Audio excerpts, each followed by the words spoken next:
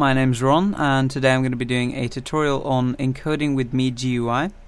Uh, I'm going to be encoding in X264 uh, today and uh, basically Ajax's encoder, which some of you may be familiar with, it's um, basically when you upload it to YouTube, when you upload your final um, rendered project to YouTube, um, it will duplicate the length and it will uh, basically lag out, which I had to learn the hard way.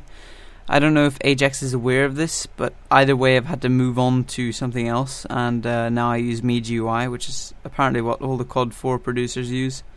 And I've come to learn that it's a lot more expandable, but a bit more complex. So this is just a tutorial to get you into it, and uh, it won't be anything advanced. It'll just be how to encode your first video and uh, how to get it up on YouTube. But uh, before I jump into the tutorial, I want to show you guys a services page that we've been working on now, as of now, this isn't live, but by the time you're watching this, it probably will be.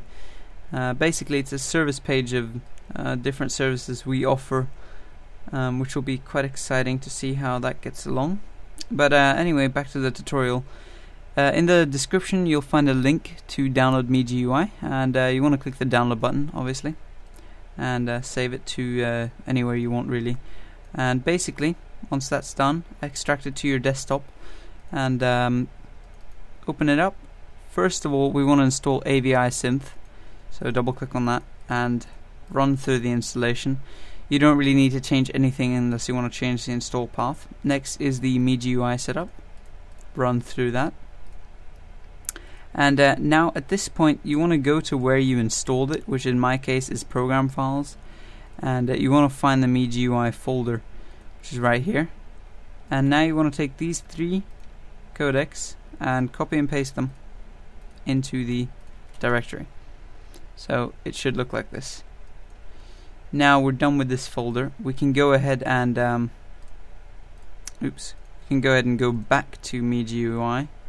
My bad for closing it, and uh, just create a shortcut or send to desktop. That way we have a shortcut to work with. So we want to open MeGUI and um, basically it'll ask us to update for the first time.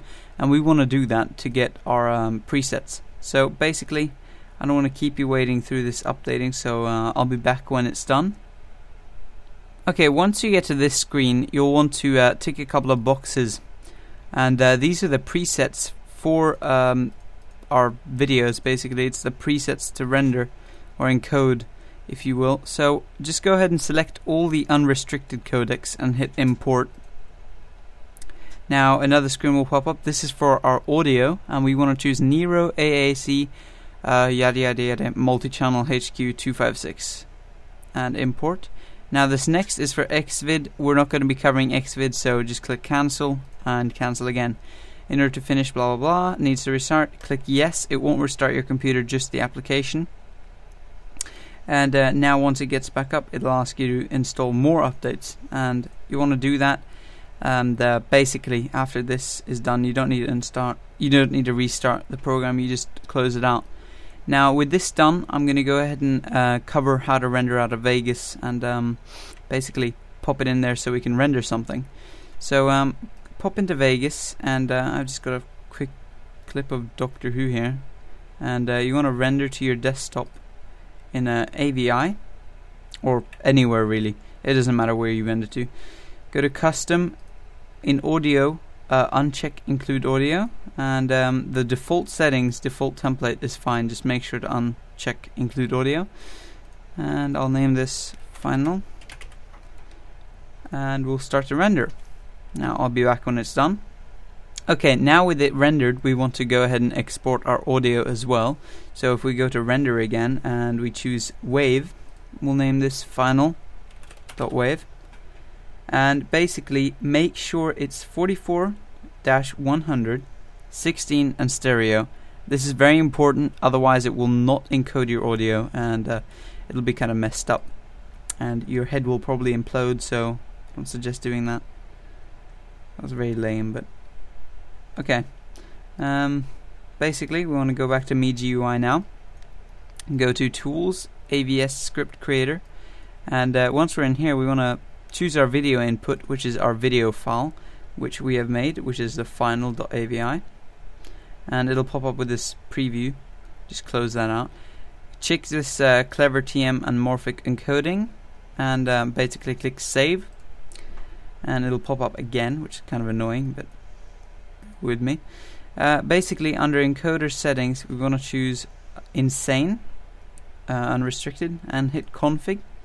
And basically, up here, we want to choose automated 2 pass, check the turbo, and put the bitrate to 9500, or really 10,000 or anything really high. Um, remember, the higher the bit, bit rate, the uh, bigger the file size. I prefer 9500, um, but that's just me. So if you want to click OK now, and uh, blah blah blah, now you want to click yes, and um, basically now we can go ahead and uh, import our audio. So we have our final final.wave, put it in. Again, in the encoder settings, choose the preset. Now, in this case, we only have one, and this one you should always use, and that's this one, the uh, 256 kbs. And now we can click auto encode. Now, this is where it gets a bit interesting. We want to click no target size, which is basically just telling us that we can go as big as possible with our file size, giving us optimum quality. And here we can select our final render which I will choose desktop and I'll just name it uh, Doctor Who.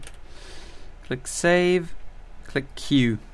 And uh, this you want to don't ask me again and you want to hit yes because this is a important script conversion and hit OK. Now we have to actually start rendering it.